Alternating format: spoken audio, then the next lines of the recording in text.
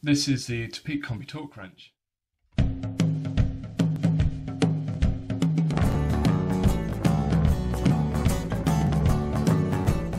Now I picked this up a while ago just before Christmas because I had uh, arranged the jobs to do on my bike and I wanted to make sure that when I uh, serviced my suspension all the pivots were torqued up correctly.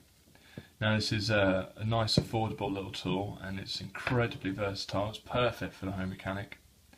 Goes up to 12 newton meters, comes up with a selection of bits. We've got a 3, 4, 5, 6 and a T25.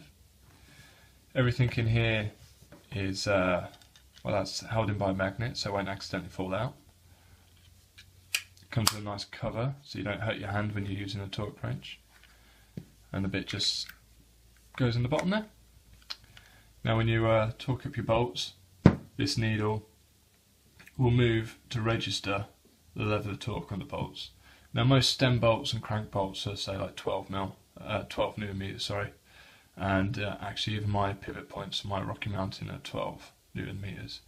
Um, but when you're dealing with carbon bars and carbon seat post clamps and stuff like that, they tend to be uh, they tend to use a little less. So this will actually 12 newton meters um, is perfect for pretty much most bikes and most tasks. Okay, so it is really quite a nifty tool for the home mechanic.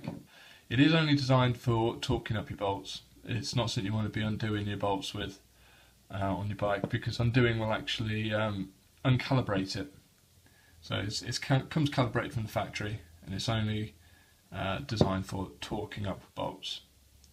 But for 15 quid, I really do think this is a bargain and a must have uh, for anyone that is interested in tinkering with their bikes, especially if you're going to start servicing your own suspension because uh, pivot points are quite quite delicate things. They need to be torqued up correctly. You don't want to damage your bearings and you also don't want them to come undone.